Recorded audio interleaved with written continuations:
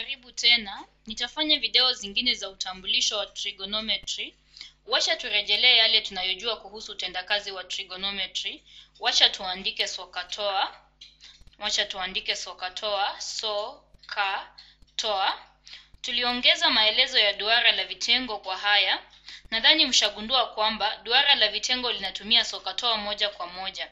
Sasa sokatoa ni nini? Nadhani mtaelewa zaidi tukitangulia kuelewa maana ya sokatoa. Hatuzingatii sana ufafanuzi wa duara la vitengo hapa. Tunajua kwamba sin ya theta, tunajua kwamba sin ya theta ni sawia na upande ni sawia na upande kinyume kwa hypotenuse. Sawa? Cosine ya theta ni sawia na upande wa karibu kwa hypotenuse na tangent ya theta, tangent ya theta ni sawia na upande kinyume ni sawia na upande kinyume gawanya upande wa karibu.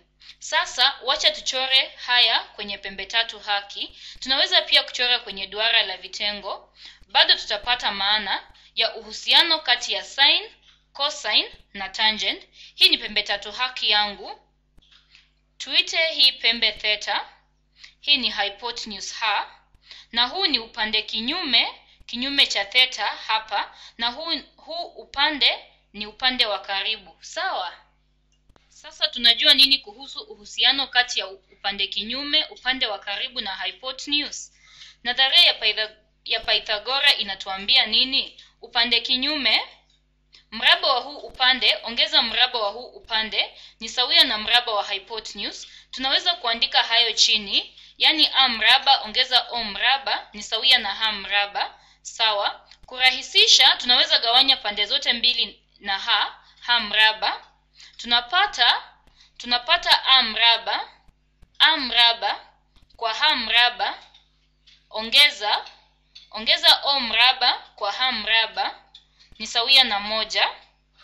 Halafu naweza kurudia kuandika tena ikawa ikawa a kwa ha mraba ongeza o kwa ha mraba ni sawia na moja ni sawia na moja. Mnafahamu haya yote yako pale. Hii ni a kwa ha na hii ni o kwa ha. Sasa tunaweza tu kuandika mbadala. Hii ni cosine ya theta, mraba wa cosine ya theta. Mraba wa cosine ya theta unaandikwa hivi, namna watu wamezoea kuandika. Ongeza upande kinyume kwa upande wa karibu, huo ni mraba wa sine ya theta mraba wa sine ya theta ni sawia na moja. Huu ni utambulisho wetu wa kwanza wa trigonometry. Ukijua sine ya theta ni rahisi kupata cosine yake. Utatatua tu huu mlinganyo. Wacha niseme ninajua saini ya theta. Tuseme ninajua saini ya theta ambayo ni nusu moja. Sasa cosine ya theta ni nini? Cosine ya theta ni nini hapa? Najua saini ya theta ni nusu moja. Sawa? Nitasema cosine ya theta Nitasema cosine ya theta ongeza saini ya theta ni nusu moja. Sasa ongeza mraba wa nusu moja, ongeza mraba wa nusu moja ni sawia na moja.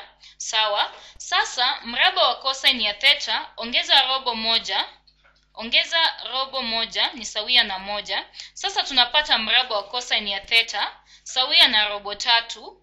Cosine ya theta itakuwa kipeuo cha hii, ni kipeuo cha tatu kwa mbili kipeuo cha tatu kwa mbili na labda mnakumbuka haya yote kutokana na pembe tatu ya nyuzi thelathini, sitini na tisini. Tunaenda kuona matumizi ya huu utambulisho wa trigonometry. Ondoa mraba wa cosine ya theta, ongeza mraba wa sine ya theta ni sawia na moja. Wacha tuupanue, tucheze tu na uwiano, halafu tuone utambulisho mwingine tunaoweza kugundua. Wacha tufute ndipo tuendelee. Tufute yote, tufute haya yote. Tunajua kwamba mraba wa sine ya theta ongeza mraba wa cosine ya theta ni sawia na moja. Tunaweza kugawanya pande zote mbili za mlinganyo na mraba wa cosine ya theta. Ni nini kinachofanyika?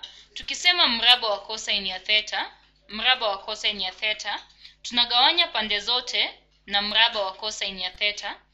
Sasa tunagawanya pande zote na mraba wa cosine ya theta. Sasa mraba wa sine ya theta kwa mraba wa cosine ya theta ni nini? Hiyo ni sawa, na ni sawa na mraba wa sine ya theta kwa cosine ya theta. Hiyo ni sawa na mraba wa sin ya theta kwa cosine ya theta kwa cosine ya theta. Ongeza moja ni sawia na moja ni sawia na moja kwa mraba wa cosine ya theta. Mraba wa moja ni moja. Sasa sine ya theta kwa cosine ya theta tushasoma haya ni tangent ya theta, ni tangent ya theta. Kama haujasoma haya yafikirie hivi. Sin ni upande kinyume, sin ni upande kinyume kwa hypotenuse. Halafu cosine ni upande wa karibu kwa hypotenuse. Hiyo ni sawia na upande kinyume kwa hypotenuse zidisha hypotenuse kwa upande wa karibu. Kugawanya na akisami ni sawa tu na kuzidisha na reciprocal. Tunapata upande kinyume kwa upande wa karibu. Hiyo ni sawia na upande kinyume kwa upande wa karibu, kumaanisha sin ya theta kwa cosine ya theta ni sawia na tangent ya theta. Sasa mraba wa sin ya theta kwa mraba wa cosine ya theta ni mraba wa tangent ya theta. Ongeza moja ni mraba wa moja kwa cosine ya theta, ni mraba wa moja kwa cosine ya theta. Nitawatambulisha kwa uwiano mpya wa trigonometry ambao tu ni moja kwa cosine ya theta, moja kwa cosine ya theta ambayo ni sawia na na secant ya theta. Huu tu ni uwiano mwingine. Secant ya theta badala ya kuwa upande wa karibu kwa hypotenuse itakuwa hypotenuse kwa upande wa karibu. Ni moja kwa cosine ya theta tu. Hakuna kisichoeleweka hapa. Sasa hiyo ni sawia na mraba wa seke, wa secant ya theta. Labda ni magumu sana kwenu kwa sababu ya maneno mengi mageni kama secant ambayo ni sawia na moja kwa cosine ya theta. Chezea tu haya halafu utaelewa haya maneno, utapata maana. Sasa huu utaweza kuwa ni utambulisho mwingine wa trigonometry. Halafu sijui kama nimeeleza kwamba huu mlinganyo ni utambulisho mwingine wa trigonometry pia. Halafu tunajua haya tayari. Sin ya theta sin ya theta kwa cosine ya theta ni sawia na tangent ya theta, na haya yako pale. Nadhani tunaweza kusema ni uthibitisho wake. Wacha niendelee kuwatambulisha kwa mambo mageni. Ikiwa hamjaelewa, mnaweza kurudia kutaz kutazama hii sehemu ya video. Wacha tufute haya ndipo tuendelee. Tumesoma nini hadi sasa? Tumesoma kuwa tumesoma kuwa mraba wa sin ya theta ongeza mraba wa cosine ya theta ni sawia na moja. Tulisoma, tulisoma pia kuwa sin ya theta kwa cosine ya theta ni sawia na tangent ya theta. Tulisoma pia kuwa mraba wa tangent ya theta, tulisoma kuwa mraba wa tangent ya theta ongeza moja ni sawia na secant ya theta, ni sawia na secant ya theta.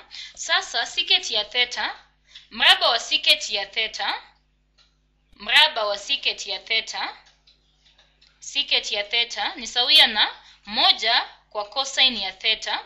Unafaa tu uhifadhi haya akilini, na kama unashangaa moja kwa sin ni nini, ni secant ya msingi ya theta, na moja samahani, moja kwa sin ya theta ni secant ya msingi ya theta, na moja kwa tangent ya theta ni tangent ya msingi ya theta. Hifadhi haya yote akilini. Haya mara kwa mara huwa yananikanganya. Moja kwa cosine ni secant, moja kwa sine ni secant ya msingi. Ni kama kinyume tu, moja kwa sine ina msingi ndani yake, lakini moja kwa cosine haina msingi ndani yake. Haya yata, haya yatawawezesha kuhifadhi tuliyosoma yote akilini. Katika video inayofuata nitawatambulisha kwa utambulisho mwingine wa trigonometry. Kwaherini.